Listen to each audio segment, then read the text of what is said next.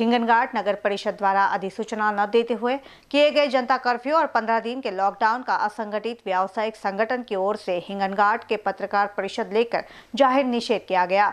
तब छोटे बड़े मध्यम प्रकार के व्यवसायिकों ने भूखमरी का संकट निम्ना हुआ है। हिंगनघाट शहर में कोरोना के चलते स्वास्थ्य संबंधी त्रुटियाँ नज़र आ रही है। कोरोना बाधितों को समय पर उपचार नहीं हो रहा। कोरोना के रोगी बढ़ रहे हैं। इसी के चलते नगर परिषद द्वारा सही मोहर न होने वाली ज़ाहिर सूचना पत्रक व्हाट्सएप के माध्यम से प्रसारित की गई, जिससे नागरिकों में संभ्रम की स्थिति निर्माण हुई। छोटे छोटे दुकानदारों और जनता का नुकसान हो रहा है। हिंगनघाट नगर परिषद ने कर्मचारियों, मुख्याधिकारी इनके आदेश के रहते हुए लाउडस्पीकर से बंद का आह्वान किया, जिससे व्यापारी लोगों को बहुत बड़ा नुकसान झेलना पड़ा। पत्रकार परिषद में एक सवाल यह भी उठाया गया कि रोड ट्रेक क्लब के माध्यम से इस असंवैधानिक बंद को ज़ाहिर किया गया। ऐसे समय में संभ्रम फैलाने वाले लोगों को निषेध किया जाता है और जल्द से जल्द इन्हें बंद कर, समाप्त कर संभ्रम फैलाने वाले लोगों पर कड़ी कार्रवाई की मांग पत्रकार परिषद में हुई। ज्ञापन लेकर मुझे सीओ साहब से मिलना था, लेकिन रविवार का दिन था, छह तारीख।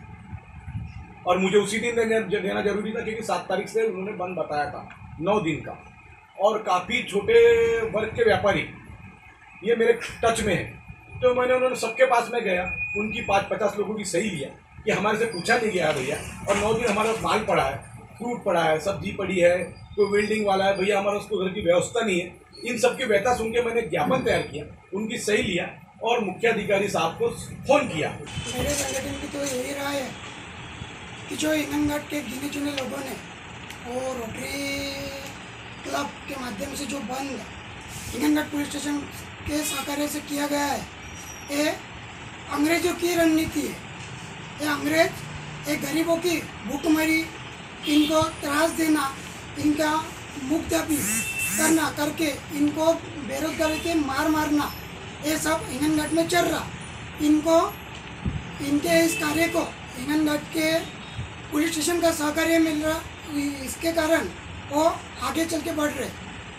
ये कभी भी हम लोग सहन नहीं कर सकते, क्योंकि गिने चुने पहले 22 मार्च से छोटे मोटे व्यवसायिक अपनी मार सहन कर रहे। बेरोजगारी की कगार पे है और उसमें लॉकडाउन केंद्र सरकार ने खोलते हुए भी और हिमन घाट के ये असंगठित संगठन रोटरी क्लब के माध्यम से जो बंद किया गया है, वो हमें मान्य नहीं है। ये बंद एक, प्रशासन के द्वारा तुरंत हटा हटाना चाहिए।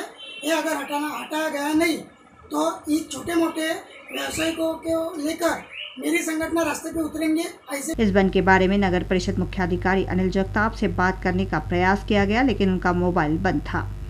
इन बीस न्यूज़ के लिए हिंगनघाट से रवि एनोडकर की रिपोर्ट।